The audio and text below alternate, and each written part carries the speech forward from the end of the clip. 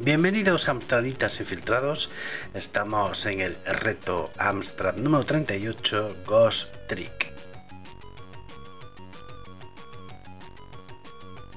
Videojuego realizado por Ayor61 en la escena este mismo año y que está basado en un minijuego de un título de SNK de la Neo Geo Pocket y del cual ya hablamos en abril de 2023, noticias de abril del reto Amstrad, que tenéis por aquí arriba la tarjetita para que echéis un vistacillo a los juegos que sacaron, que estaban bastante bien. Pues nada, echarle un vistacillo. En él estamos con el personaje de Ghost and Goal y de Ghost Goblin, pegando saltitos en tres plataformas donde tenemos que intentar conseguir los tesoritos. Un juego que está basado en las mecánicas de las máquinas LCD que tantos retos de diversión nos dieron en, los 80 y en los 90. Así que bueno, pues una mecánica bastante sencilla, un juego simple que se programó para la GX4000. Entonces da la sensación de que se han reutilizado elementos en este programa y que bueno, de todas maneras pues, han aprovechado para realizar una especie de pequeño homenaje a este minijuego y al personaje de Gosangol. Bien, para jugar a este título tendremos que utilizar un emulador o una máquina virtual de la GX4000 o del CPC Plus. Da lo mismo porque ya sabéis que la GX4000 era una versión recortada del CPC Plus sin teclado.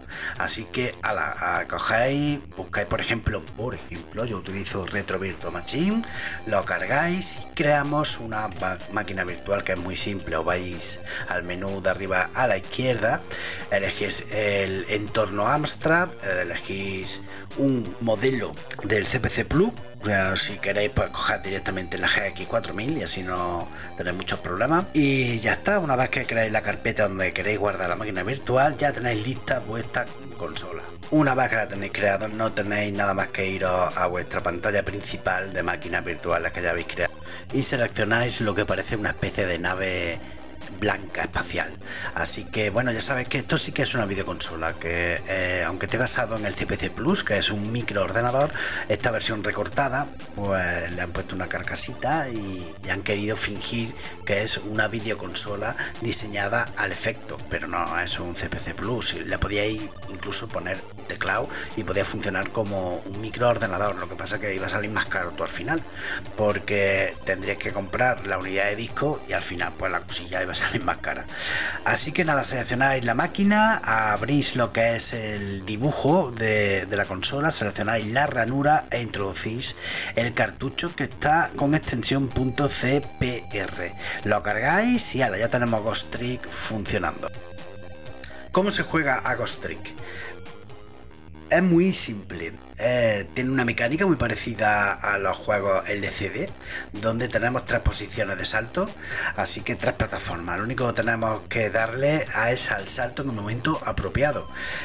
Eh, se ve que una vez que vas consiguiendo los tesoritos, que son cada 100 puntos más o menos, y que te rellenan además el tiempo, pues eh, se ve que hay una especie de jefe final. Yo no me he llegado todavía en, la primera, en los primeros minutos de, las primeras partidas, así que no estoy seguro. En la demo sí que se ve una especie de jefe muy parecido a lo que tenía Gosangol, pero que la mecánica es exactamente igual, donde tendremos que disparar porque no tendremos nada más que el movimiento de salto, pero en esta fase de jefe sí que parece que podamos disparar. Así que bueno, solamente tenemos la dirección derecha e izquierda que se maneja con los cursores y, bueno, pues nada, disfrutar de este juego que, la avaricia romper saco porque lo, lo mejor de este juego con el incentivo de la competición es ir consiguiendo puntos y ver hasta dónde podemos llegar. Así que nada, disfrutar esta semana con Ghost Trick, un juego muy simple y os recuerdo que os emplazo para el próximo reto Amstrad. Recordar que tenemos nuestras redes sociales, por supuesto la competición en Facebook, reto Amstrad Marcadores 2023, lo buscáis así y lo vais a encontrar. Aceptáis las normas y a, a jugar con Amstrad. Así que ya nos vemos, muchas gracias por haber pasado por aquí, espero que al menos hayáis tenido pues esa, esa punzada de nostalgia. Que nos vemos en el próximo reto. Adiós, queridos. Adiós.